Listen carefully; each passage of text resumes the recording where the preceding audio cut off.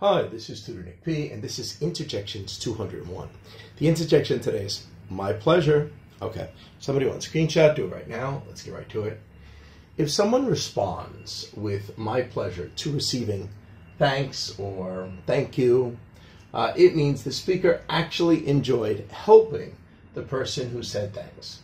There is usually stress on both words. So instead of just saying my pleasure, it's like my pleasure. You know, they'll do, they'll say it more like that. They'll stress both the word my and the word pleasure.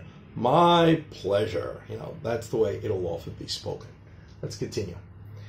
Uh, you may also hear this phrase, it's my pleasure, the pleasure is mine, or the pleasure is all mine. So you could hear that as well to have the same meaning and same use. Let's continue.